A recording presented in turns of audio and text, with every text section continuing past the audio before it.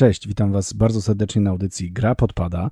Ja nazywam się Damian Daszek i słyszymy się ponownie w Radiu Bezpieczna Podróż. Chciałem Was od razu odgórnie przeprosić za to, że tydzień temu mnie tutaj nie było, ale miałem drobne problemy techniczne, ale spokojnie, już jestem, wróciłem, można by rzec cały na biało. I dzisiaj zabiorę Was do świata The Last of Us, bo właśnie o tej grze dzisiaj sobie porozmawiamy. Dlaczego akurat o niej? Wydaje mi się, że to jest idealny moment, ponieważ w piątek na rynku ma się ukazać druga odsłona serii druga część gry, bezpośrednia zresztą kontynuacja The Last of Us, tak więc no, lepszego momentu mieć nie będziemy. Zastanowimy się nad tym, dlaczego The Last of Us stało się tak ogromnym sukcesem na całym świecie, dlaczego tak wielu graczy uwielbia e, tę produkcję. No i dodatkowo ja też e, odwołam się do tego, co też mówiłem e, około miesiąc temu, kiedy to powiedziałem w jednej z audycji, że nie do końca czekam na The Last of Us. E, czy to się zmieniło? O tym przekonacie się już zaraz, ale od razu Wam zaznaczę, że czekam w tej chwili już naprawdę bardzo. Wręcz nie mogę wysiedzieć na miejscu, bo już odliczam dni do tego piątku najbliższego, czyli do 19 czerwca, kiedy to skończę pracę i będę mógł na spokojnie zasiąść przy konsoli i w The Last of Us 2 mm, pograć. Zacznijmy może w ogóle od tego, jakiego typu grą jest The Last of Us. The Last of Us to gra przygodowa z elementami survival horroru, wyprodukowana przez studio Naughty Dog oraz wydana przez Sony Computer Entertainment, które zostało już oficjalnie teraz nazwane Sony Studios. W 2013 roku gra ukazała się na konsolę PlayStation 3, a w 2014 na konsolę PlayStation 4 jako już remaster. E, co ciekawe, do 2018 roku gra sprzedała się na całym świecie w 17 milionach egzemplarzy i obecnie jest to jeden z najlepiej ocenianych e, tytułów e, w ogóle w historii gamingu. Co więcej, przez internautów za pośrednictwem strony Metacritic The Last of Us zostało nazwane najlepszą grą ostatniej dekady. Czy zasłużenie? Zapewne tak, ale też nie do końca. Ja wychodzę z założenia, że The Last of Us to jest naprawdę świetna produkcja przygodowa, która łapie za serducho, wciąga od pierwszych minut i powoduje, że nie chcemy przestać w nią grać. Jednak Gdybyśmy mieli ją na przykład porównać do takich produkcji jak Mass Effect czy Wiedźmin, które również ukazały się na rynku e, w poprzedniej dekadzie, to niestety The Last of Us wypada przy nich blado. Moim zdaniem. Oczywiście to jest tylko i wyłącznie moje zdanie. E, tak więc, okej, okay, jest najlepsza gra dekady według Metacritic, ma naprawdę genialne oceny, bo z tego co mm, dobrze pamiętam, oceny krytyków i też użytkowników oscylują między 90 a 100. Taką średnią zazwyczaj 195. E, czyli jeżeli 95% graczy i recenzentów uważa, że gra jest świetna, to faktycznie warto im zaufać. Ja się z nimi w 100% zgadzam. The Last of Us, tak jak powiedziałem, jest to świetna produkcja przygodowa i naprawdę każdemu z Was polecam w nią zagrać. Jeżeli nie mieliście styczności wcześniej z tym tytułem, to koniecznie to zróbcie. Tym bardziej, że teraz macie do tego świetną okazję. Zaraz mamy premierę drugiej części, tak więc jeszcze macie kilka dni, aby powtórzyć sobie tą pierwszą, ograć tą pierwszą, a potem przenieść się od razu do tej części e, drugiej. Ja przyznam szczerze, że swoją przygodę z The Last of Us zacząłem dwa lata temu, ponad, myślę, że nawet trzy lata temu. Jednak e, na początku nie do końca ona przypadła mi do gustu. Mm, wydawała mi się dość toporna. Sterowanie było też dość ciężkie. E, oczywiście na samym wstępie porównywałem to z inną produkcją od studia Naughty Dog, czyli z Uncharted.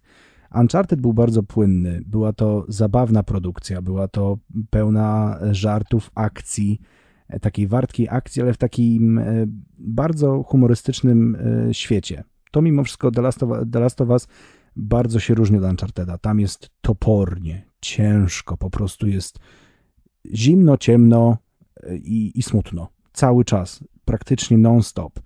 E, I nie do końca mm, potrafiłem się z tym tytułem jakoś tak e, zaprzyjaźnić na dłużej. No ale w pewnym momencie stwierdziłem, że skoro tak wszyscy strasznie zachwycają się tym The Last of Us, no to ja muszę ograć całość, żeby faktycznie móc e, tę produkcję ocenić. Ograłem i przyznam, że naprawdę bawiłem się świetnie.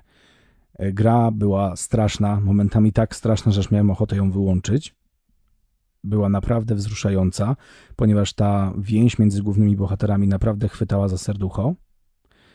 Jednak po jej ukończeniu ja nie czułem się spełniony. Ja nie czułem tego, co na przykład czułem po ukończeniu Wiedźmina, czy po ukończeniu właśnie Mass Effect. To są takie dwa przykłady, które ja bardzo często mm, będę tutaj przywoływał e, zaraz obok The Last of Us, bo mimo, że to są kompletnie inne gry, ja zawsze powtarzam, że nie powinniśmy porównywać gier, które kompletnie nie są do siebie podobne, jeżeli chodzi o założenia fabularne, jeżeli chodzi o założenia gameplayowe, no i przede wszystkim jeżeli chodzi o sposób prowadzenia historii. Bo w Wiedźminie mamy otwarty świat, tam możemy na swój sposób prowadzić historię Geralta, wykonując masę zadań pobocznych zaraz obok tego wątku głównego. W Mass Effect tak samo, świat może nie jest do końca otwarty, ale również mamy bardzo dużo możliwości e, interakcji z masą postaci, które kompletnie nie mają żadnego odwołania do tej głównej historii do tego głównego wątku fabularnego. W The Last of Us tak nie jest. The Last of Us to jest liniowa przygodówka, gdzie po prostu idziemy od punktu A do punktu Z. Nie ma żadnych większych skrętów e, gdzieś tam, że tak powiem, e, gdzie możemy sobie pójść i tam poszukać czegoś, bo po prostu gra jest ograniczona. Gra jest ograniczona, te światy nie są zbytnio rozbudowane, dlatego nigdy tych tytułów nie powinno się porównywać. Ja to robię tylko i wyłącznie dlatego, żeby pokazać, jak łatwo na graczy i krytyków może wpłynąć historia. E, co mnie osobiście bardzo cieszy, ponieważ to będzie miało jakby odwołanie w tym, co zawsze powtarzam, że w grach najważniejsza jest fabuła. Zgadza się.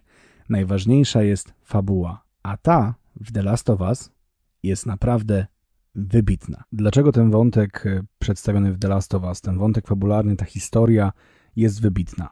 Ano dlatego, że jest po prostu prosta jest naprawdę prosta. Jest to przedstawienie podróży ku lepszemu światu dwójki bohaterów. Dwójki bohaterów, którzy kompletnie się od siebie różnią. Dorosłego człowieka, mężczyzny, Joela w tym przypadku, i bardzo buntowniczej młodej dziewczyny, czyli Eli.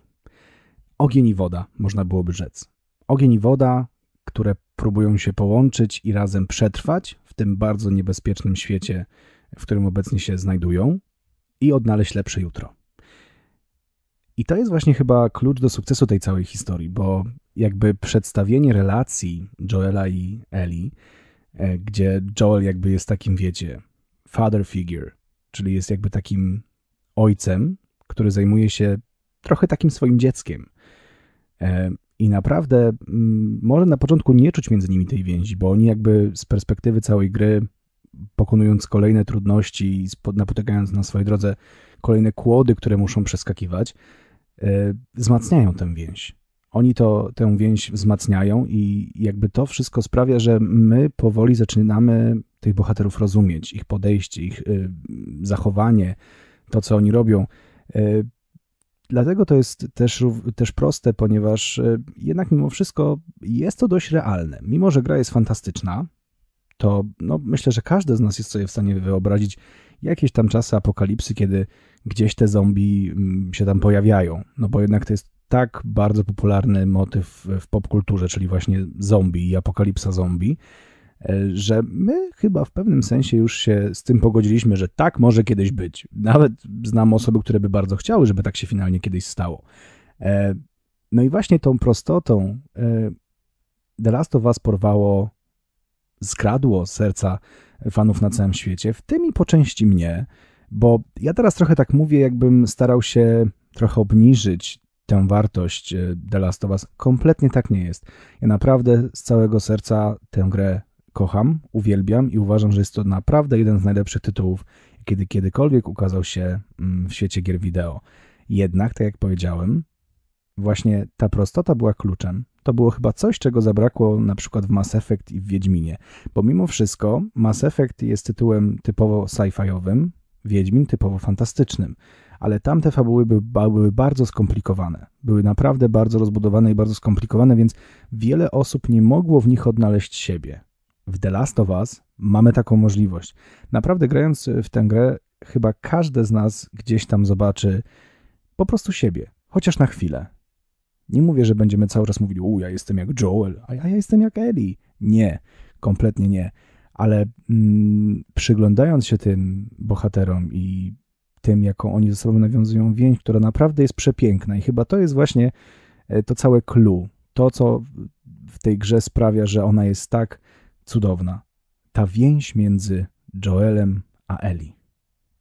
I czy dziwią mnie trochę oceny krytyków, y, recenzentów i użytkowników? Nie.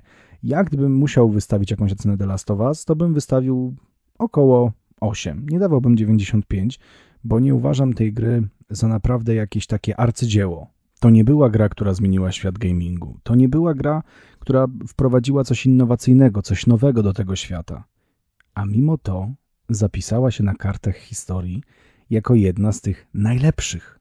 A to wszystko za sprawą tego pięknego, wzruszającego, poruszającego, ale zarazem ogromnie prostego wątku fabularnego. To jest naprawdę ogromny fenomen, jak można stworzyć grę, która byłaby zarazem tak prosta, tak wciągająca i której sukces bylibyśmy w stanie zrozumieć w 100%. Ja wiem, że to, co mówię, brzmi trochę sprzecznie, ale może wam się wydawać, że mi chodzi o to, że a, tam The Last of Us jest grą prostą, tak więc no, zasługuje na taki, taki sukces. Jasne, że zasługuje, bo klucz tkwi w prostocie.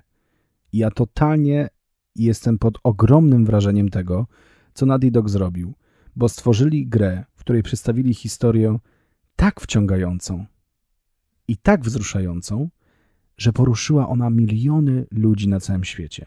Z jednej strony ja jestem również totalnie zszokowany tym, że tak się wydarzyło, bo po ograniu The Last of Us nigdy w życiu nie przypuszczałbym, że ten fanbase tego tytułu jest tak potężny.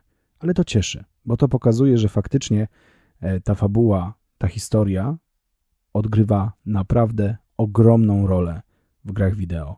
I że mimo tego, że żyjemy w tych czasach online'u, gdzie ten online jest jakby takim najważniejszym źródłem zarobku dla pewnych wydawców, to jednak historia budzi tak skrajne emocje, że po prostu nie da się przejść obok pewnych gier obojętnie. Co jeszcze podobało mi się w The Last of Us poza fabułą? No bo to już powiedziałem, że było wybitne i nie będziemy do tego wracać. E, no poza właśnie historią przedstawioną w grze, bardzo podobała mi się praca kamery. Jakby ja uwielbiam ten trzecioosobowy rzut, kiedy mogę zobaczyć całą postać, widzę co ona robi, widzę jak się zachowuje, mam stuprocentową kontrolę nad tym, e, co danym bohaterem akurat robię mm, i widzę to na ekranie, co jest najważniejsze dla mnie, ale dodatkowo bardzo mi się podobały te takie odchyły rzuty kamery na takie elementy kluczowe w danej lokacji. Czyli na przykład jak e, wchodziliśmy do jakiegoś miejsca Joelem i Eli, to kamera nas nakierowywała na taki element, który warto byłoby zobaczyć. Nie tyle w formie tego, że tam coś znajdziemy potrzebnego czy ciekawego, ale on po prostu sprawiał, że cała historia dla nas nabierała kompletnie innego sensu. To można było zobaczyć w naprawdę kilkunastu bardzo ważnych momentach w grze.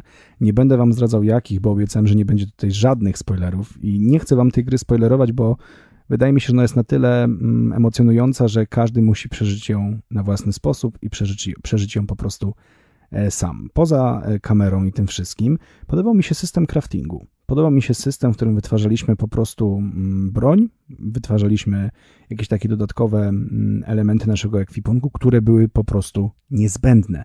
Niezbędne, bo tych zombie w grze jest naprawdę masa i to najróżniejszych rodzajów. Są szybkie, wolne, E, klikacze. Naprawdę tych zombie jest tam tak dużo, że każdego należy pokonywać kompletnie innym rodzajem broni. Tak więc już odgórnie taka rada. Uważajcie, co robicie danym bohaterem i uważajcie, na jakiego zombiaka natraficie. Bo to naprawdę może wam sprawić duże kłopoty, kiedy akurat będziecie mieli wyjęty zwykły pistolet, a będzie na was szedł zombie, którego nie do końca takim pistoletem da się mm, pokonać. E, poza tym, jeżeli chodzi, mieliśmy już, powiedziałem już, kamera, i crafting, ale poza tym bardzo mi się podobała e, grafika w tej grze. Mimo, że to był remaster i gra jest też dość stara, to ja mam wrażenie, że ona się mimo wszystko nie zestarzała. Ona się nie zestarzała, ona cały czas wygląda jak nowa.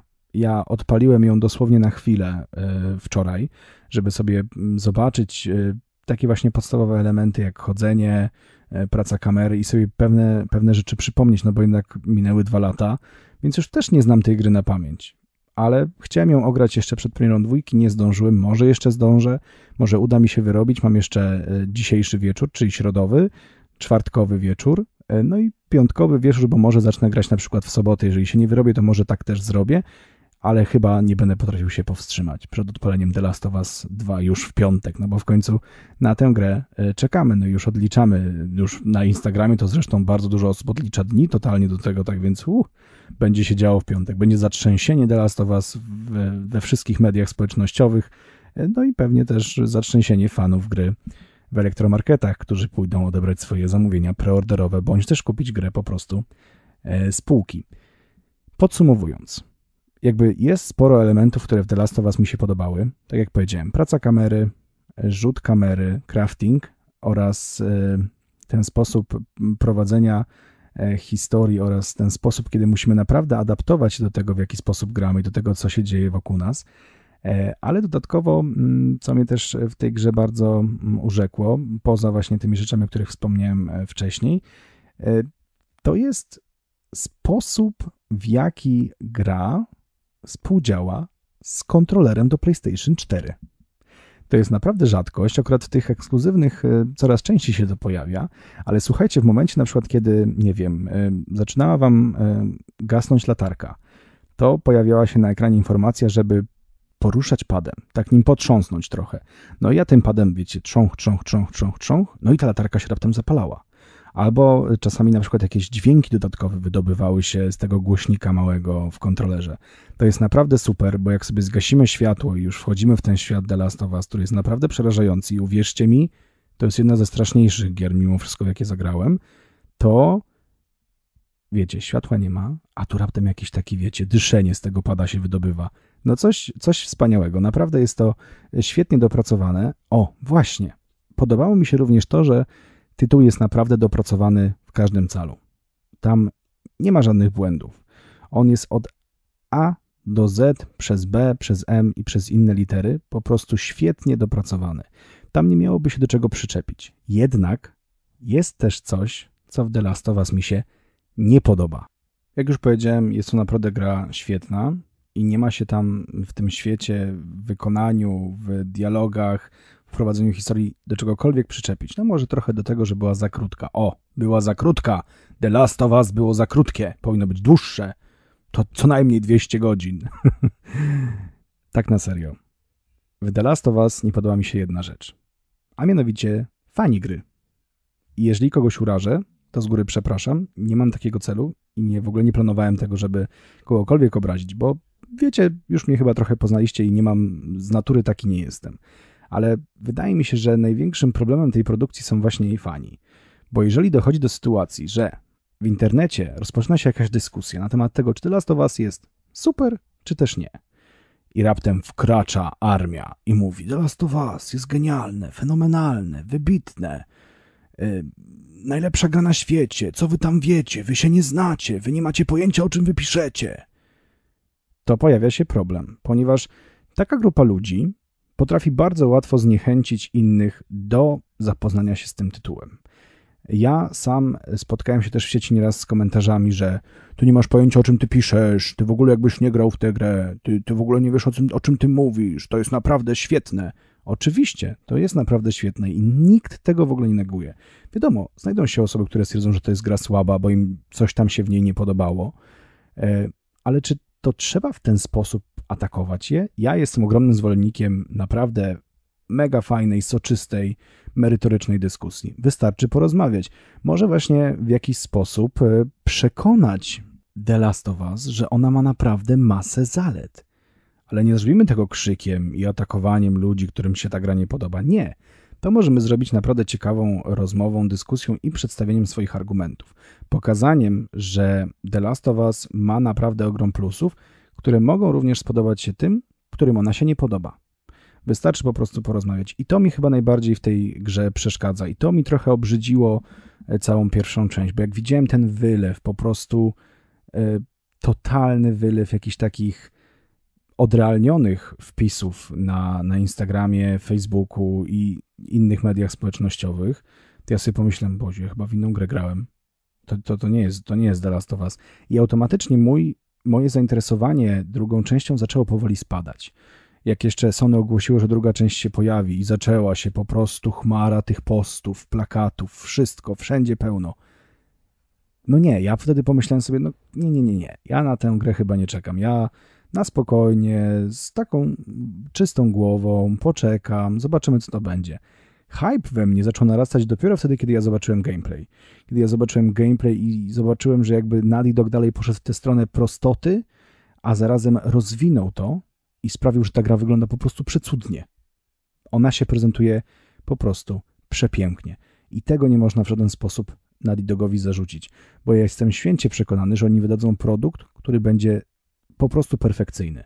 I na pewno mm, spodoba się fanom starym, jak i zapewne tym, którzy dopiero przybędą po zapoznaniu się może z tymi materiałami promocyjnymi, stwierdzą, że warto ograć jedynkę, a potem zapoznać się z dwójką. Ale tak jak powiedziałem i powiem to jeszcze raz, trochę w innych słowach. Ludzie, chill, naprawdę spokojnie, nie trzeba gloryfikować tytułu, aby inni wiedzieli, że on jest dobry. Ja czasami się śmieję, że ja gloryfikuję na przykład Wiedźmina, ale to jest wszystko w żartach. Ja nigdy nie wchodzę w jakieś takie większe dyskusje na zasadzie Jak ty możesz mówić, że Wiedźmin nie jest najlepszą grą na świecie, jak wszyscy dobrze wiemy, że jest? Bo jest i taka jest prawda! nie wchodzę w takie dyskusje. Jak mi ktoś mówi, że nie podobał mu się Wiedźmin 3, to mówię, co? Tak można? Tak się da? No nie, no nie gadaj głupot, spróbuj jeszcze raz. Wszystko staram się obrócić w żart, ponieważ wychodzę z założenia, że gier jest tyle, że każdemu może podobać się co innego i dla każdego znajdzie się w tym świecie gamingowym miejsce. Ale to, właśnie co powiedziałem, co robią fani The Last of Us, gdzie piszą wykłady na temat tego, jak można nie rozumieć pewnych elementów gry, idei gry i innych takich rzeczy, jest totalnie słabe i totalnie bezsensowne, bo naprawdę psujecie w ten sposób radość z grania innym oraz sprawiacie, że duża część osób nie będzie chciała sięgnąć po tę grę, tylko i wyłącznie dlatego, że będą czuli takie po prostu hmm, jakiego słowa by użyć, żeby nie zabrzmiało to źle. Dyskomfort. Będą czuli dyskomfort i strach przed tym, że ta gra może się im nie spodobać. I udało się. Ubrałem to ładnie w słowa. Ubrałem to tak ładnie w słowa, że nie powiedziałem żadnego brzydkiego. Brawo ja! To będzie taki krótki podpunkt y, naszego dzisiejszego spotkania, ponieważ powoli kończy nam się czas i muszę zaraz kończyć, żeby przekazać, że tak powiem, pałeczkę prowadzącego dalej. Wiecie co? W piątek mamy premierę The Last of Us. Teraz zadajmy sobie pytanie, czego oczekujemy od tej gry? Czego każdy z nas oczekuje od kolejnej produkcji studia Naughty Dog? Ja wam powiem tak. Ja oczekuję tylko jednej rzeczy. Aby ta gra była dopracowana do perfekcji. Chcę, żeby Naughty Dog wydało grę, która będzie śmigać równo, bez żadnych błędów, że będziemy mogli wejść w ten świat i bez żadnego marudzenia po prostu przeżyć tę historię od początku do końca bez żadnych przeszkód. Oczywiście takich przeszkód technicznych, bo w przeszkody fabularne trochę nie wierzę. Nie wydaje mi się, żeby Nadidok pozwoliło sobie tutaj na jakiś błąd. E, tam wiem, że gdzieś pojawiały się jakieś wycieki w sieci, że ktoś coś widział, że to niby prawda, potem ktoś mówił, że to nieprawda. Nie wnikam w to. Totalnie mnie to nie obchodzi, co tam gdzie pisali. Ja to nawet czytałem, przyznam się. Ale no, no okej, okay, no pisał sobie ktoś coś, ktoś wyraził swoje zdanie. Pamiętajcie, nigdy nie oceniamy gry przed jej ograniem. No i to byłoby na tyle, moi drodzy, dzisiaj. Dziękuję Wam bardzo za kolejne spotkanie w audycji Gra Podpada.